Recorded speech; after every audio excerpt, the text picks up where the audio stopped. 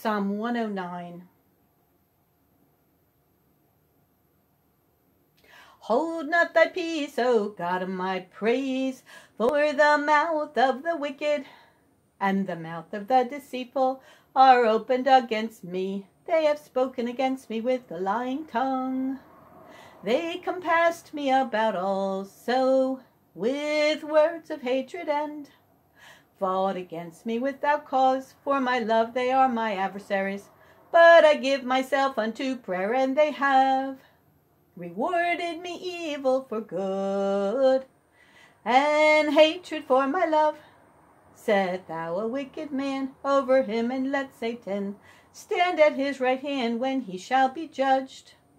Let him be condemned, and let his prayer become sin. Let his days be few, and let another take his office. Let his children be fatherless, and his wife a widow. Let his children be continually vagabonds and beg. Let them seek their bread also. Out of their desolate places let the extortioner catch all that he hath, and let the stranger spoil his labor. Let there be none to extend mercy unto him. Neither let there be any to favor his fatherless children. Let his posterity be cut off. And in the generation following, let his name be blotted out. Let the iniquity of his fathers be remembered with the Lord, and let not the sin of his mother be blotted out. Let them be before the Lord continually, that he may cut off the memory of them from the earth, because that he remembered not to show mercy, but persecuted the poor and needy man, that he might even slay the broken in heart, as he loved cursing, so let it come unto him as he delighted not in blessing, so let it be far from him as he clothed himself with cursing like as with his garment.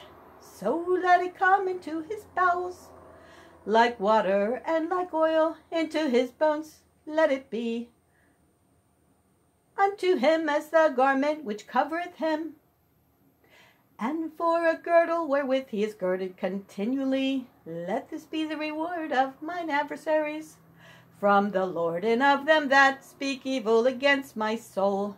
But do thou for me, O God the Lord, for thy name's sake.